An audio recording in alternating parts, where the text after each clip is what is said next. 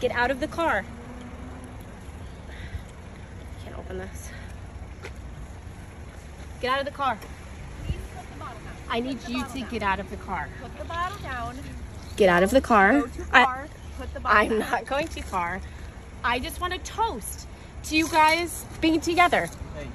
Let's make a toast. Okay, before you do something you regret, please put the bottle down. I'm not going to put the bottle down. Put the bottle down. I want to make a toast to the new happy couple. Please stop filming me. How many times do I have to ask you? It's free country, ma'am. Free country. You know what else was free? His love was supposed to be free, but now it's not. So get out of here. It's not your business.